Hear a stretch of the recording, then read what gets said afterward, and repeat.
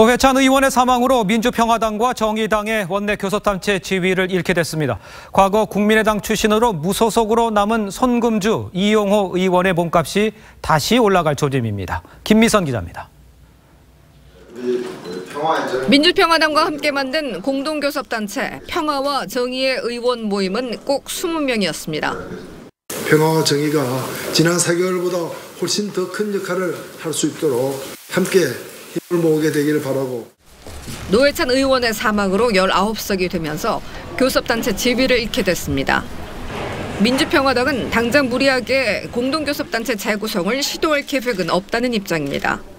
지금은 공동교섭단체를 꾸리는 일에 무리하게 나서는 것보다는 어, 황망한 일을 당한 정의당에 위로를 보내는 것이 우선적이라 생각가지고 민평당은 그러나 정기국회를 앞두고 다음 달 중순부터는 다시 교섭단체 구성 노력을 벌일 계획입니다. 민평당이 꾸준히 영입 노력을 기울여온 무소속의 송금주, 이영호 의원이 우선 영입 대상입니다. 두 사람은 민주당 합류설도 나오고 있어 몸값이 올라갈 전망입니다.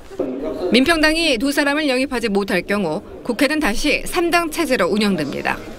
TV조선 김미선입니다.